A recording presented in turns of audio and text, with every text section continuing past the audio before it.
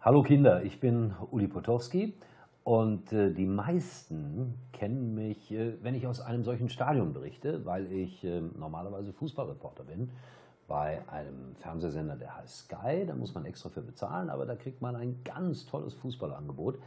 Aber deshalb spreche ich nicht zu euch, sondern weil ich auch so ganz nebenbei Kinderbücher schreibe. Und dann sitze ich hier an meinem Schreibtisch, mitten im Stadion sozusagen, und schreibe mir etwas auf.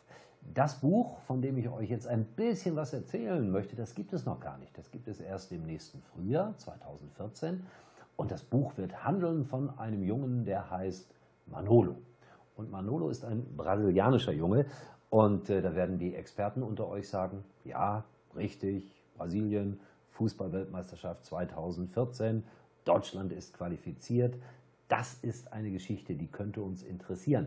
Äh, die sollte euch interessieren, denn Manolo hat beim Playstation-Spielen plötzlich eine unheimliche Erscheinung. Er hat nämlich die Möglichkeit, das muss ich jetzt ganz leise sagen, weil das unter uns bleiben muss, er hat nämlich die Möglichkeit, mit Messi, ja mit Messi, dem argentinischen Weltstar, der für Barcelona spielt, zu kommunizieren. Also er kann mit ihm sprechen und Messi kann ihm Tipps geben und dieser Messi gibt unserem Manolo Tipps, damit er ein wichtiges Spiel gewinnen kann. Geheime Tipps. Manolo spielt für einen etwas kleineren Kölner Verein, nämlich für Viktoria Köln. Und Manolos Mannschaft muss gegen den großen ersten FC Köln spielen. Und das ist ein eigentlich unschlagbarer Gegner. Aber mit den Tipps von Messi könnte es vielleicht klappen. Aber diese Geschichte mit Messi, die ist sehr unheimlich. Immer wenn Manolo den Computer anmacht oder die Playstation, um mit Messi zu sprechen, wibbert es, wabbert es, brummt es aus den Boxen. Und dieser Messi stellt auch ein paar Bedingungen an Manolo. Ihr müsst wissen, dass Manolo noch einen aller, allerbesten Freund hat, der heißt Stuart. Und Stuart ist ein englischer Junge. Der Name verrät das schon ein bisschen. Die beiden spielen zusammen in einer Mannschaft. Und dieser Stuart, der hat einen kleinen Nachteil.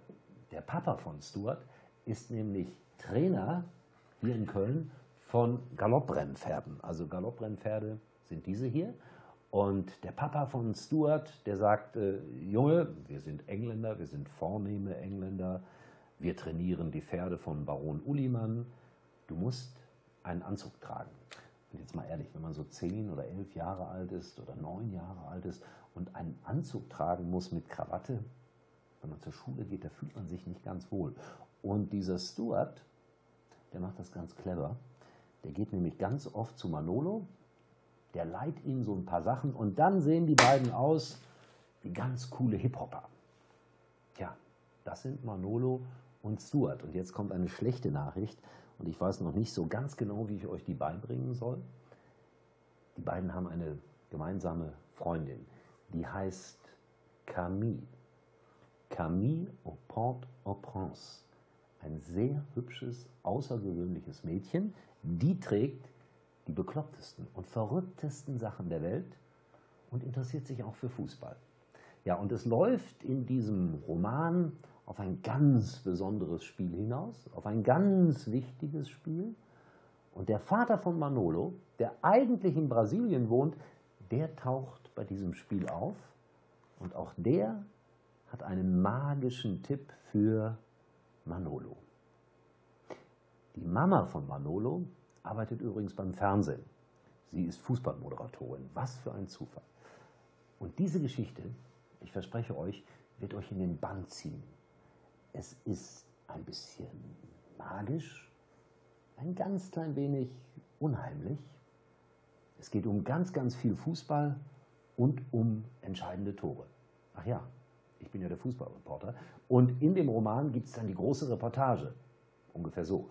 Stuart steht hinten, müsste den Ball wegschlagen, trifft ihn jetzt aber nicht. Voll ein Querschläger ist das. Der Ball geht auf das eigene Tor zu, aber der Keeper von Viktoria Köln kann den Ball im letzten Moment festhalten, wirft ihn ganz schnell auf Manolo. Manolo auf der Rechtsaußenposition. Manolo startet durch. Unglaublich, was für ein Tempo Manolo vorlegt.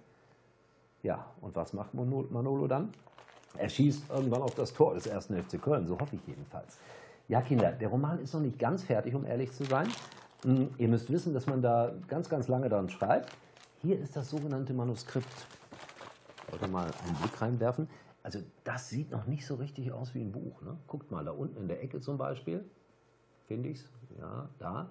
Da sind äh, Anmerkungen von der Lektorin drauf. Das heißt, das ist die Steffi, die das für mich macht. Die schreibt mir dann immer noch mal ein bisschen was rein. Kannst du da noch was, was verändern und was anders machen und so. Das mache ich gerade.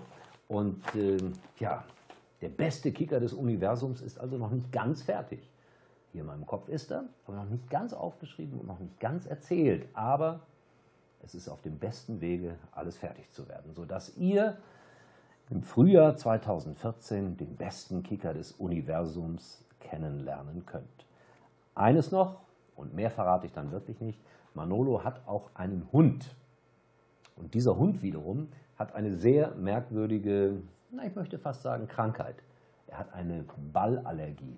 Ja, der hat Angst vor Fußbällen. Ein Hund, der Angst vor Fußbällen hat. Und generell vor Bällen. Und deswegen heißt dieser Hund nichts von Messi. Weil er überhaupt nichts hat von Messi, diesem großen Fußballer. Und der wiederum, ach, das wisst ihr ja schon, der gibt unserem Freund Manolo die allerbesten Tipps. So, das war mein kleines Adventsgeheimnis für euch. Schöne Weihnachten. 2014 gibt es dann den besten Kicker des Universums.